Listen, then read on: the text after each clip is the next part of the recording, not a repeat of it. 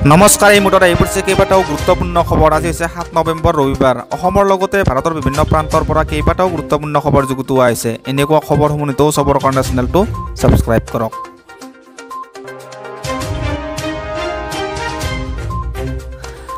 প্ৰধানমন্ত্ৰী গৰীব কল্যাণ যোজনাৰ অধীনত দেশৰ দৰিদ্ৰ জনসাধাৰণলৈ আগবঢ়োৱা বিনামূলীয়া খাদ্য শস্য যোগান আঁচনিখন অহা ত্ৰিছ নৱেম্বৰৰ পাছত কেন্দ্ৰীয় চৰকাৰে পুনৰ সম্প্ৰসাৰণ নকৰাৰ সিদ্ধান্ত গ্ৰহণ কৰিছে। ক'ভিড পৰিস্থিতিৰ বাবে দুহেজাৰ বিছ বৰ্ষৰ মাৰ্চ মাহত ঘোষণা কৰা এই আঁচনিখন সেই বছৰৰ এপ্ৰিল জুন মাহৰ পাছত চলিত বৰ্ষৰ ত্ৰিছ নৱেম্বৰৰ নৱেম্বৰলৈকে চলাই থাকিবলৈ চৰকাৰে সিদ্ধান্ত গ্ৰহণ কৰিছিল।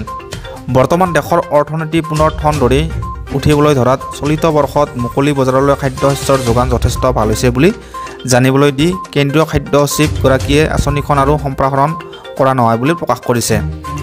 উল্লেখযোগ্য যে খাদ্য সুৰক্ষা আইনৰ অধীনত ৰেচন কাৰ্ড থকা দেশৰ আশী কোটি লোকলৈ এই আঁচনিৰ অধীনত ৰাজসাহায্যযুক্ত খাদ্য শস্য যোগান ধৰা হৈছে।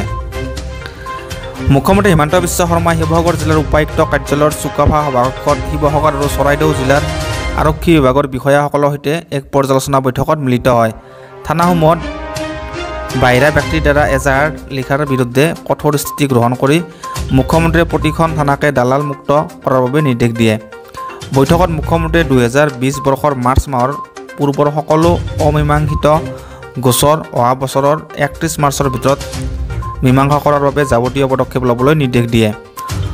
পষ্টমৰ্টেম ৰিপৰ্টসমূহ বাসত্তৰ ঘণ্টাৰ ভিতৰত দাখিল কৰাৰ বাবে নিশ্চিত পদক্ষেপৰ পোষকতা কৰি মুখ্যমন্ত্ৰীয়ে ইয়াৰ বাবে উপায়ুক্ত আৰক্ষী অধীক্ষক আৰু স্বাস্থ্যসেৱাৰ যুটীয় সঞ্চালকৰ মাজত উপযুক্ত সমন্বয় ৰক্ষা কৰি কাম কৰাৰ বাবে নিৰ্দেশ দিয়ে। তদুপৰি থানাত দাখিল হোৱা প্ৰতিখন এজাহাৰৰ বিপৰীতে উপযুক্ত ধাৰাৰ গোচৰ ৰুজু কৰাৰ বাবে নিৰ্দেশ প্ৰদান কৰি মুখ্যমন্ত্ৰীয়ে গুৰুতৰ অপৰাধৰ ক্ষেত্ৰত জামিনবিহীন ধাৰা প্ৰয়োগৰ লগতে তিনি মাহৰ ভিতৰত চাৰ্জশ্বীট দাখিল কৰা পদক্ষেপ ল'বলৈও নিৰ্দেশ দিয়ে।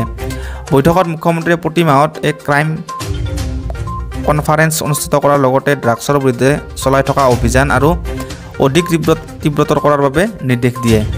মুখ্যমন্ত্ৰীগৰাকীয়ে লগতে পুলিচ ভেৰিফিকেশ্যন পাৰপত্ৰ ভেৰিফিকেশ্যন ইত্যাদি বিষয়সমূহ সময়মতে প্ৰদান কৰিবলৈ নিৰ্দেশ দিয়ে। ৰাজ্যখনত এতিয়ালৈকে পঁচানব্বৈ শতাংশ ক'ভিড ভেকচিন গ্ৰহণৰ বাবে উপযুক্ত ব্যক্তিয়ে প্ৰথম পালি ক'ভিডৰ টীকা গ্ৰহণ কৰিছে। ৰাষ্ট্ৰীয় স্বাস্থ্য অভিযান মিছনৰ সঞ্চালকগৰাকীয়ে সংবাদ মাধ্যমক জানিবলৈ দিয়া অনুসৰি মুঠ দুই কোটি ঊননব্বৈ লাখ ক'ভিডৰ টীকা বৰ্তমানলৈকে ৰাজ্যখনত প্ৰদান কৰা হৈছে। সঞ্চালকগৰাকীয়ে লগতে জানিবলৈ দিয়ে যে শীঘ্ৰেই ঘৰে ঘৰে গৈ ভেকচিন প্ৰদানৰ এক কাৰ্যসূচী আৰম্ভ কৰা হ'ব আৰু অহা দুটা সপ্তাহৰ ভিতৰত টীকা ল'বলৈ বাকী থকা সকলো ব্যক্তিকে টীকাকৰণ কাৰ্যসূচীৰ অধীনলৈ আনিব পৰা যাব। ৰাজ্যখনত বিদ্যালয়সমূহৰ পুনৰ পাঠদান আৰম্ভ হোৱাৰ পাছত ক'ভিড পৰিস্থিতিৰ ওপৰত কোনো বিৰূপ প্ৰভাৱ পৰা নাই বুলি জানিবলৈ দি বিষয়াগৰাকীয়ে কয় যে ৰাজ্যখনৰ পাঁচ ছয়খন বিদ্যালয়ত ক'ভিড পজিটিভ ৰোগী ধৰা পৰিছে যদিও স্বাস্থ্য বিভাগে যিকোনো পৰিস্থিতিৰ সৈতে মোকাবিলা কৰিবলৈ সষ্টম হৈ আছে।